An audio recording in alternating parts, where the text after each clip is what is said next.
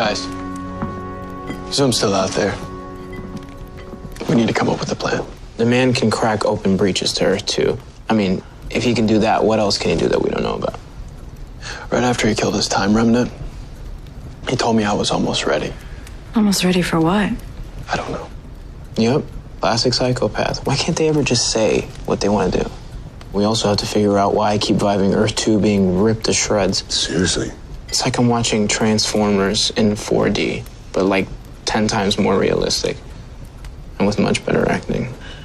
Look, if you can vibe the future, we need to stop Zoom before that happens. I'm gonna get some air, all right?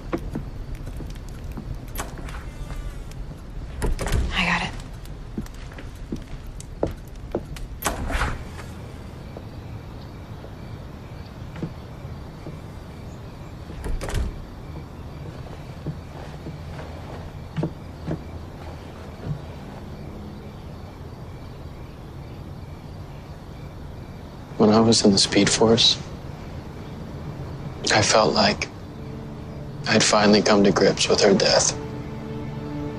With not saving her when I went back. And then the moment where I'm finally at the place I can move on. My father's taken from me. How am I ever supposed to find peace with that? Find a way to do that, or it's gonna tear you apart. I just miss him so much already.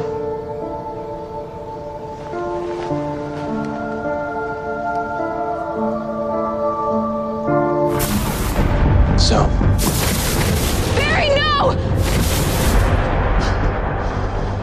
Bad time, Flash?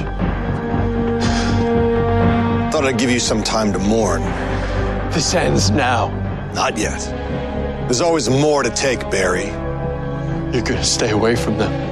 But that's completely up to you. What? When we first met, I told you that Zoom needed to be the best. You just didn't realize I was talking about myself. Is that what this is about? A race, Barry, between you and me to see who's the fastest. You win, this is over, and you get to be the hero. I'm not racing you. Then your father won't be the only person you love that I'll take from you.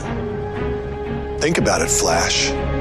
All I want to know is who's the fastest man alive on either world. I'll be waiting.